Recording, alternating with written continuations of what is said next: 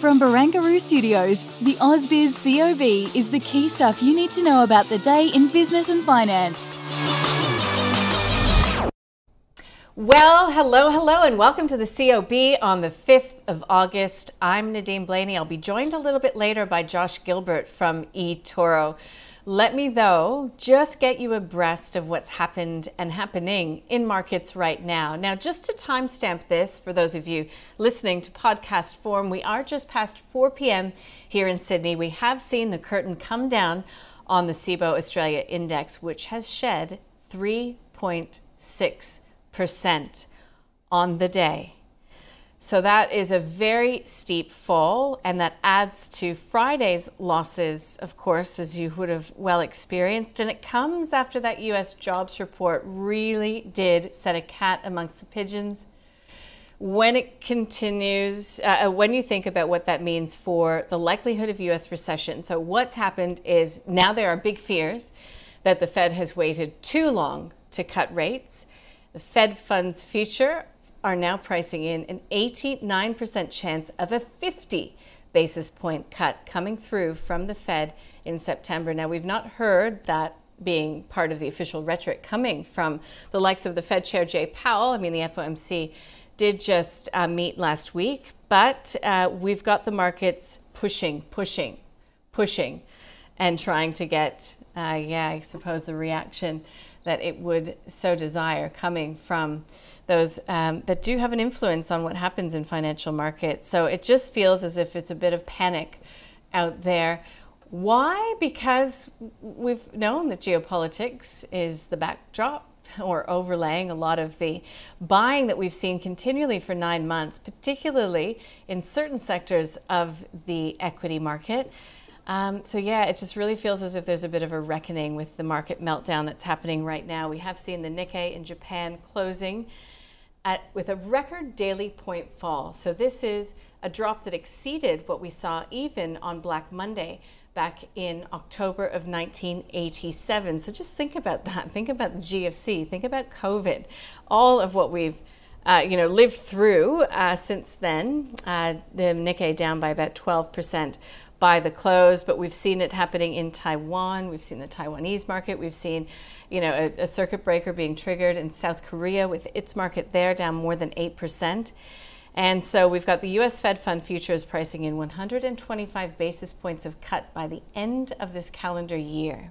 Tonight we do have the ISM Services Index, and I was speaking with Chris Weston from Pepperstone a little bit earlier today, as well as Tony Sycamore from IG. He was calling it the ISM. And uh, if that comes in below expectations or even in contractionary territory, that could be yet a further trigger for some further volatility. I was checking in on the CNN Fear and Greed Index a little bit earlier on today. It's, uh, well, do I need to tell you? It's moved awfully close to the extreme fear level.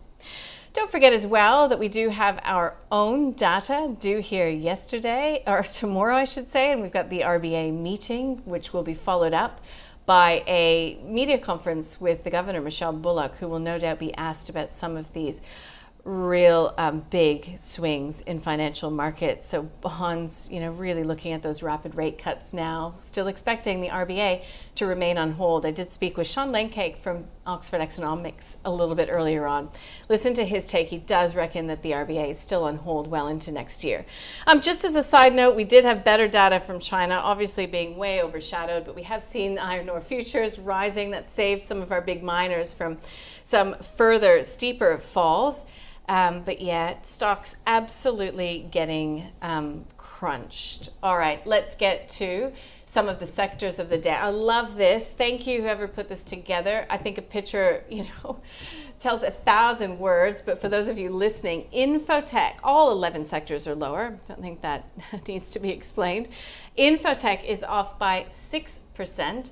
Um, you know, really, really steep falls for these particular companies. WiseTech Global, we can bring that up on screen, down close to 10%, Xero off by 5.7%, Next DC, 6.75%. You know what the bears or those who have been more bearish are saying now?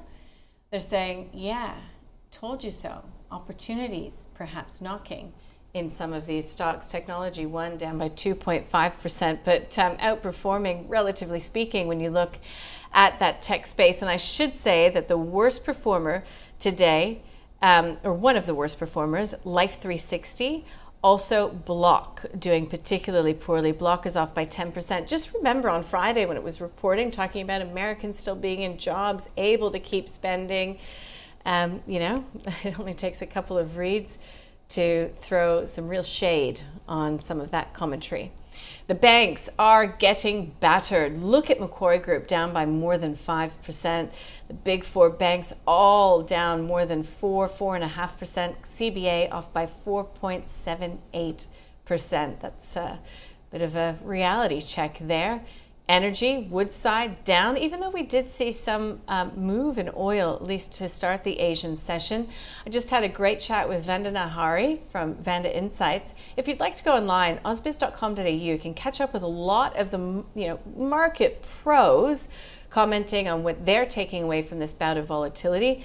Um, look, you know, geopolitics, sure, but it's demand destruction that is brought on by slowing economies that is the real concern for oil markets right now. Uranium, I just picked, uh, oh, here's the miners. So you can see there that the price of iron ore is, um, relatively speaking, doing good things for the likes of Rio and BHP. Rio off by about half of 1%, BHP 1.6%. But check out South 32 off by close to 6%.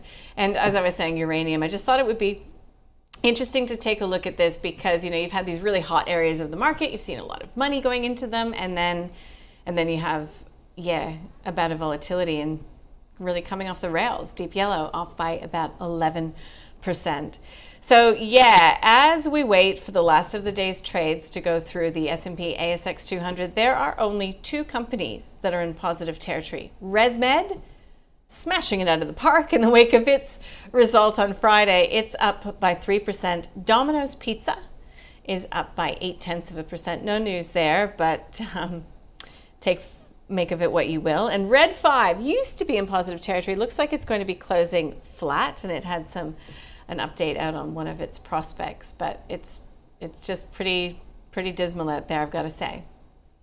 As I said, ResMed, one of the few stocks um, looking all right after posting better than expected results on Friday. It also had a number of brokers, JP Morgan Citi and Macquarie, lifting its price target. TPG apparently has revived discussions with Macquarie backed Vocus for the sale of some of its non mobile fiber assets. Uh, Ramsay Health, that's actually not a bad performance when you consider it was out with a profit warning. It now expects its full year results to come in between 265 million and 270 million dollars. And Argo Investments, one of the few companies that reported today, it's declared a full year profit of $253 million, down on last year, but has held firm on its record high 18 cent dividend. You know it did well for Argo? Um, Clarity Pharmaceuticals. So while it suffered because it saw lower dividends from the likes of Rio, of BHP, of um, Woodside as well. Clarity really knocked it out of the ballpark for them. Take a listen. Those kind of stocks, I guess, are fairly high risk, so we don't allocate a lot of capital. Not, but then I guess we don't get uh, sorry we don't get stocks that go up that much very often either. We quite like the radio pharma space. I mean, there's a few other listed Australian peers. Telix is one, and there's others which have done quite well, and it's a really growing market.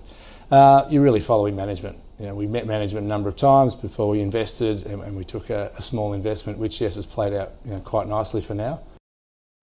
So that was Argo Investments, one of those companies that did report today. Let me just see. Apologies, I don't know what its share price did. There's been so much, so much to uh, look after. Yeah, down by 1.79%, so outperforming the broader market. But uh, yeah, you can listen to that full interview with the MD. He outlines the fact that they were likely to see more volatility. He also points out, I mean, think about it, they invest in Aussie companies um, with a dividend perspective, dividend harvesters. So they've got a team of analysts that will just be pouring through all the other company reports. And he reckons that if there are disappointments, we're going to see really volatile reactions on market to that. Okay, let's bring in my guest here, Josh Gilbert, joining us from eToro. Josh, boy, what a day. What do you make of it? Uh, I'd, I'd like to make of it that if you haven't checked your portfolio yet, then I probably would recommend not doing that so far today. Anyway, might be a day just to sort of leave the leave the apps unopened. But um, no, look, uh, really, we we've had that real shift, haven't we? It's it's bad news is now bad news. For a long time, it was it was the opposite. Um, obviously, we we had that you know rate hike from Japan uh, earlier last sort of week, and, and then that obviously sort of sent shockwaves through the Japanese market. Then we obviously then had that US um, unemployment number obviously growing expectations and, and fears for, for a recession in the US or at least a, a sharp slowdown.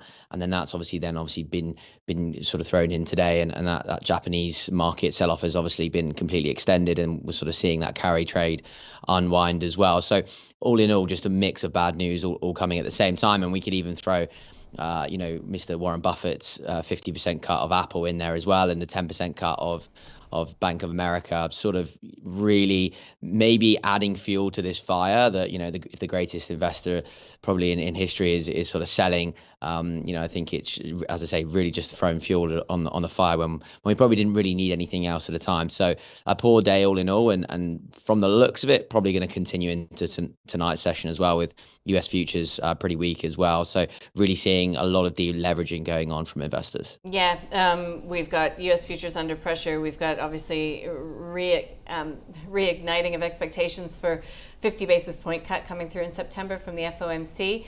Um, we've got a lot of information as well. You know, we've been hearing from U.S. companies.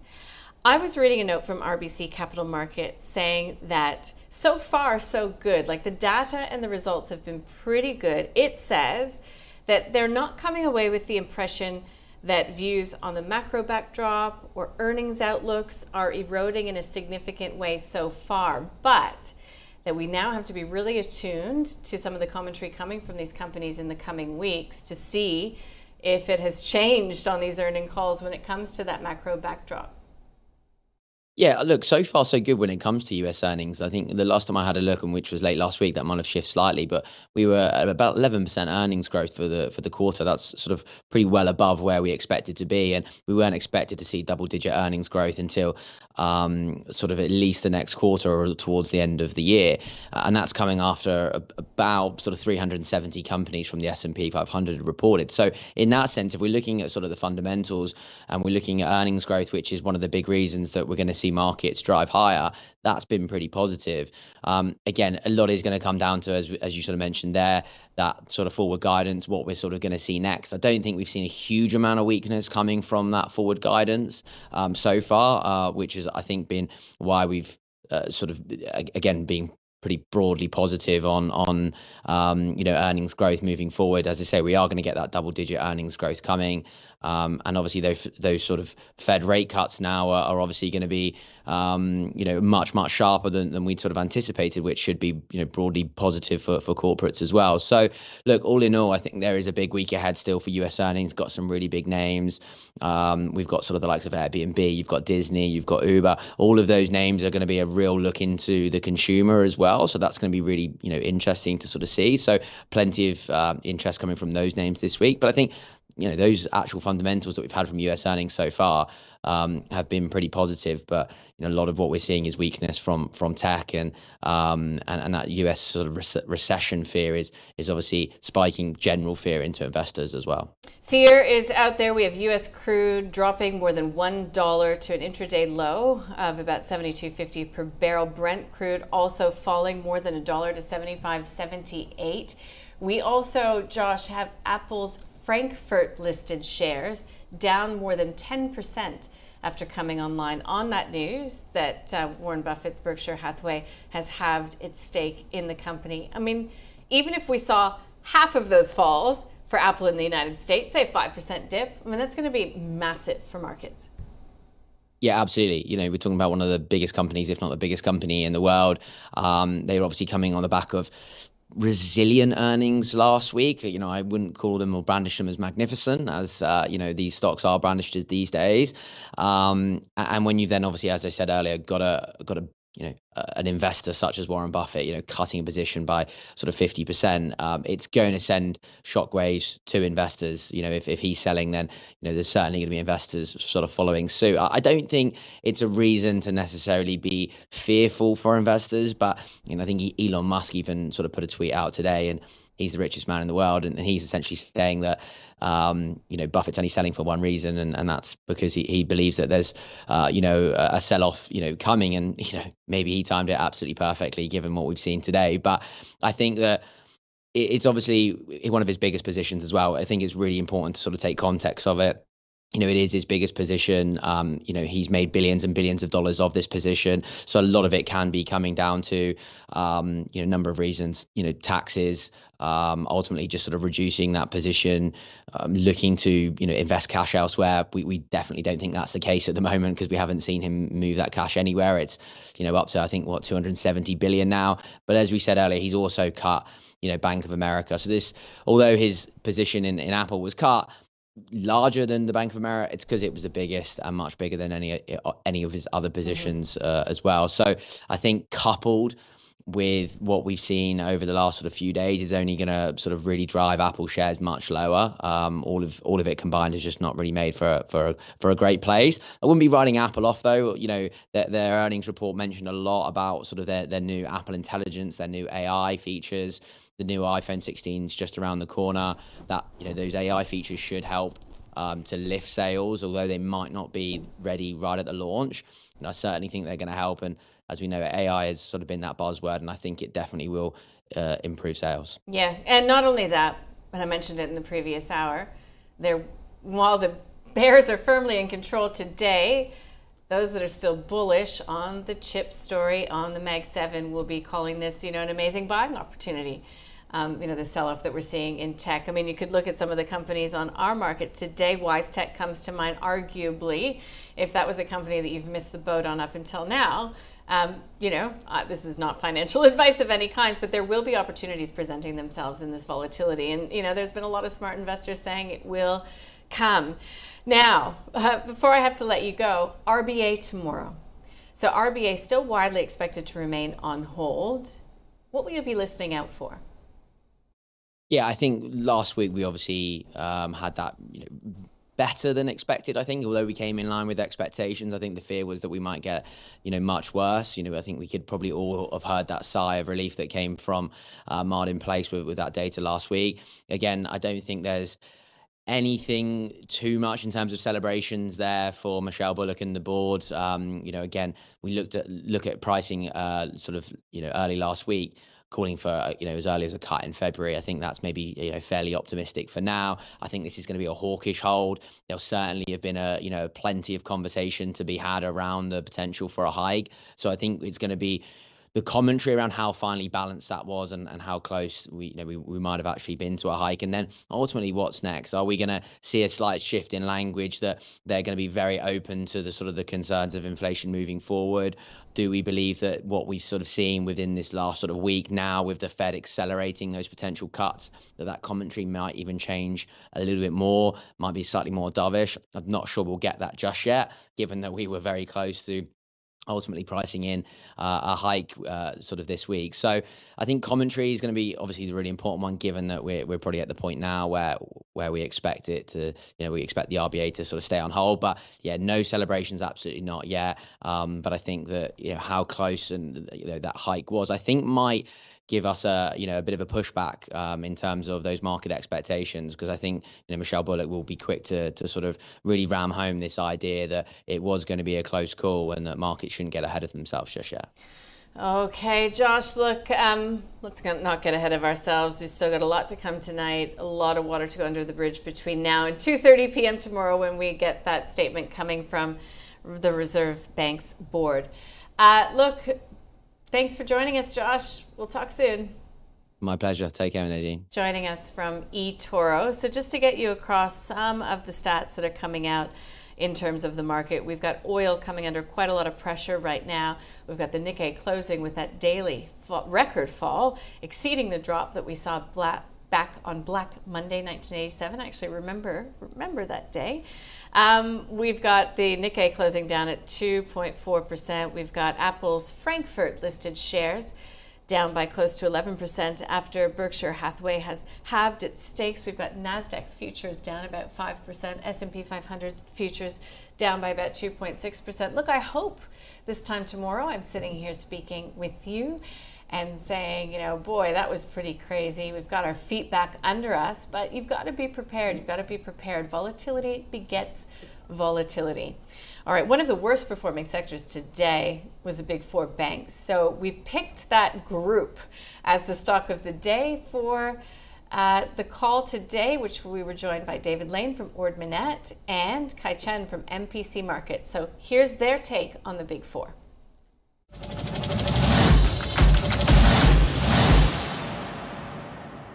It's a double edged sword that because the banks are so large, that's part of the reason why we've seen them rally so strongly over the last 12 or 18 months because money coming into the market, particularly as far as the large super funds are concerned and international investors, they generally tend to move with the, the index and move with the market. So you've seen a flood of money come into those four major banks. And then on the downside, the, the opposite is the case as well. So they're large, they're liquid. The big players in the market will be selling the banks today, and, and that's obviously part of the reason why the, the share prices are down. Banks going into recessions, um, you know, generally tend to underperform going into that, and they bounce out fairly well. Right. Um, and I think we're in a scenario where um, the case for soft landing has been kind of written over. Everyone, all the analysts are basically saying, okay, we've achieved soft landing, achieved soft landing.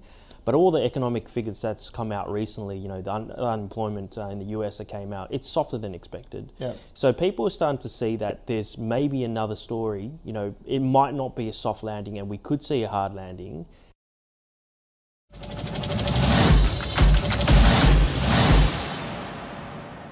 So that was uh, for David Lane, a sell on CBA, hold ANZ and Westpac. Kai Chen from MPC says take profits if you've had a good run. If you'd like to listen to that in its entirety, you can find all of our stock of the days on our website. You just go to the series up at the top of your screen, and you can catch up with that full episode of the call as well while you're at it, and any of the great interviews that we did throughout the day today. Because still getting some stock ideas, stock picks from some of our guests. I had a good chat with Morningstar about uh, three stocks from the utilities and infrastructure space that just might perform well, even if we, you know, see some of this volatility continue in markets. Let me run you through market leaders. This list will be short. ResMed and Domino's. Um, ResMed uh, up, so this is a pretty stellar performance, all all things said. Um, yeah, by 2.89%. Domino's putting on two ten, uh, 8 tenths of a percent. The only two stocks on the 200 pushing higher. Some of the laggards today Zipco, Deep Yellow, Block, Judo, and PolyNovo is on that list as well. Arcadium Lithium is off by 9%. So, Block last week, when it reported talking about US Americans being in jobs, willing to spend, everything's great. Um, yeah, how quickly that narrative can change. Uh, small end of the market, let's see if there were any leaders. Yep, we've seen Pacific Smiles with an improved offer being recommended by some of its key stakeholders, up by 7%, and Actinogen Medical also up by 7%. On the flip side, though, we do have Metro Mining off by 20%, FBR, so Fast Fastbricks down by close to 19%, and Appen in that tech space down by 14%. So, what are we expecting tonight? Um, it's important. It's important. We have the ISM Services PMI.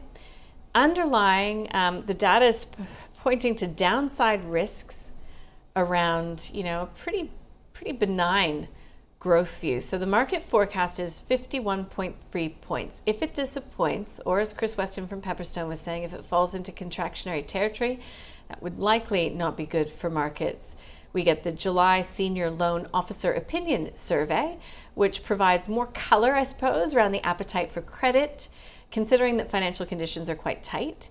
And we get the FOMC's Goolsbee and Daly speaking. We also get the final estimate for the global services PMIs. But Goolsbee, we already heard from on Friday. Keep in mind that Goolsbee said that you never want to overreact to one month's data, but that in, employment is going to go up higher than the neutral rate. That's the kind of pinching that the law says the Fed has to think about and respond to. So, talking about its dual mandate for jobs.